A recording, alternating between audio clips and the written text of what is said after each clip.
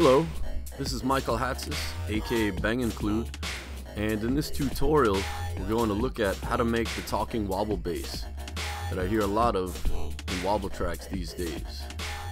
So I'm going to use the operator for this tutorial, but if you don't own operator, just check out the first wobble bass video I did using the simpler and just load up that preset and you should be able to follow along pretty well.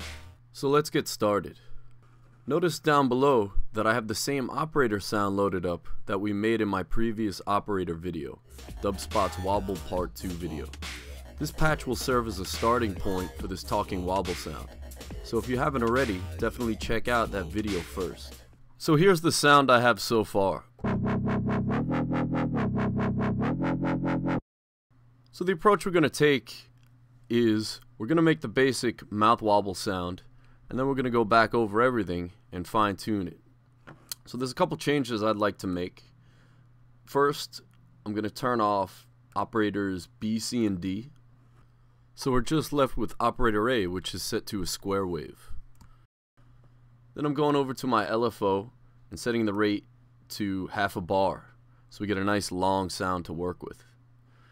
Lastly, I'm going to go to my filter resonance and just switch that up to about 5 or so. So now what we have is something like this. And you can hear it's much more of a gentle sound, but it'll work a little better for what we're trying to do. Now let's add the talking effect to this sound. So the trick to the talking effect is digital downsampling. So we can use Live's Redux effect to get this. So I'm going into my device browser and I'm just tossing Redux after the operator. And just make sure you have downsample set to hard.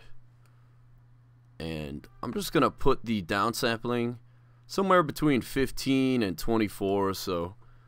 And when I play it back now,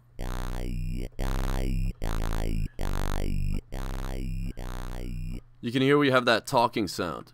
So the way this effect works is that as the LFO sweeps through the filter's frequency, the Redux adds that formant or vocal sound to the wobble.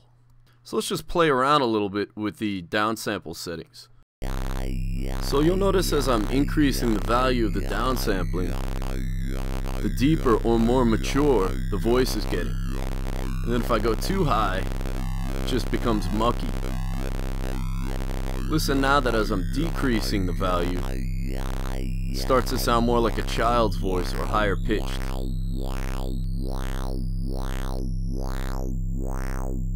And then too low does nothing.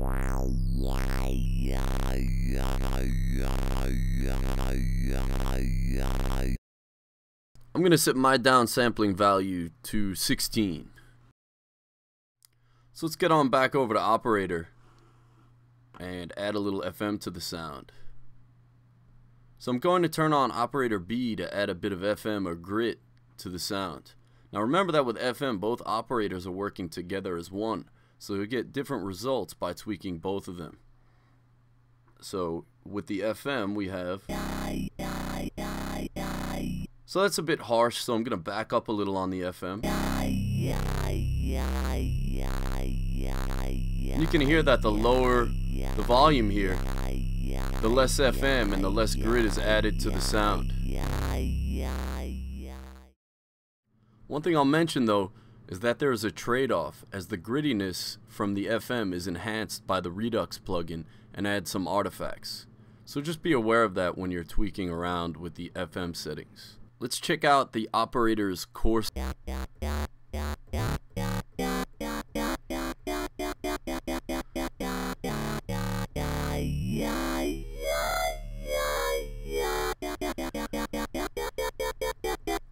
Also, the higher the coarse values, the more higher end harmonics are added to the sound, as you can hear here.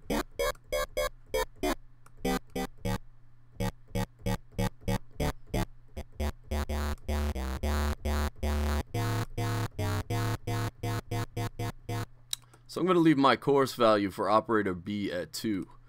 Also notice that you still have operators C and D to mess around with and uh, change the sound characteristics a bit. So let's move on over to the filter section. So I'm going to swap out the low SVF filter for the low 24 decibel per octave filter.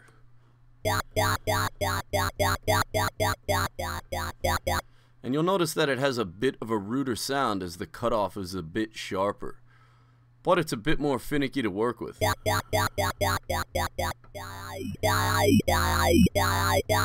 But anyway, some might like the effect it gives.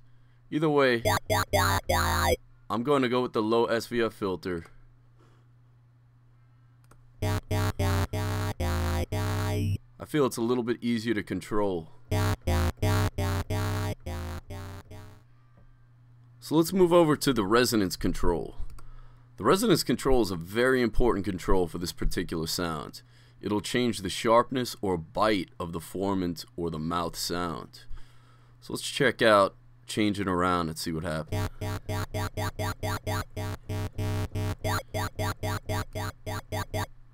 You can hear that it's a lot sharper at higher values, whereas down at low values, it doesn't really have that vocal effect.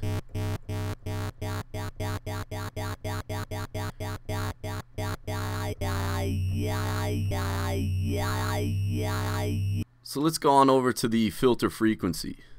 Now the filter frequency is another really important control. This control, depending on its value, will change the wording of the sound. So let me play a key to hear what we have right now. So right now we have a yai kind of sound. Now let's lower the filter frequency to hear how it changes the word.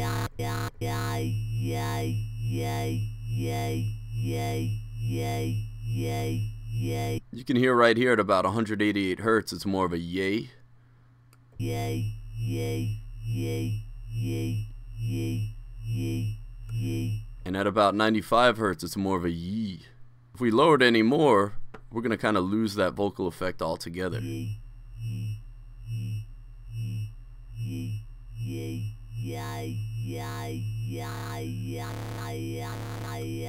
Also, if we go too high, we'll add a bit of distortion to the sound, which doesn't sound too good.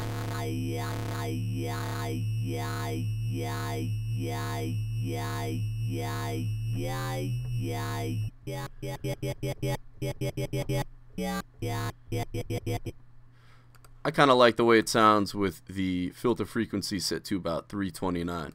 But experiment around, come up with something you like. So let's move on up to the LFO. I have an amount here of about 68 and I think that works perfectly. See if we go a little too high. We start getting that distorted kind of sound and any lower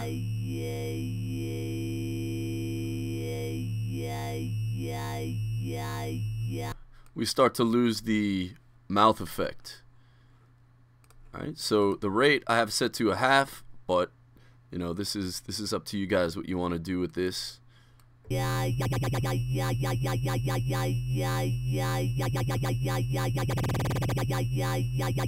So that LFO rate right there is definitely one you want to map to a MIDI controller. So we covered a lot of different things in this tutorial. So let's just do a quick recap. Now it's the Redux device set to hard which creates the formant of the voice now over to operator, the operator's FM amount, that's what adds grit and growl to the sound.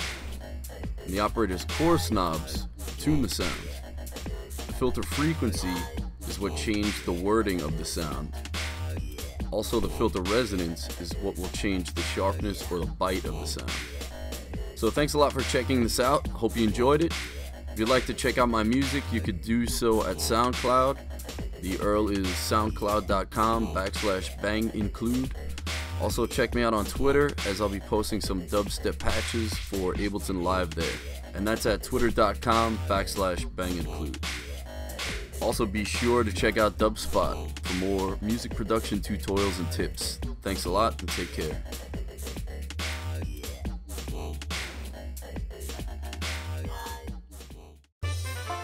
Welcome to Dubspot we believe in providing you hands-on experience right away. Whether you're completely new to music and want to turn the sounds in your head into a musical reality, or you're an experienced artist looking to refine your skills and add new tools to your arsenal, we're ready to meet you at your level. For students of all ages, all levels, and all styles of music, DubSpot is here to help you achieve your goals.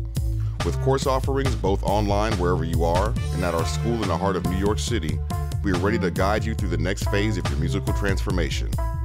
Whether you want to produce music, DJ, or do both, you've come to the right place. Come explore DubSpot for yourself. Become a part of our community and make music.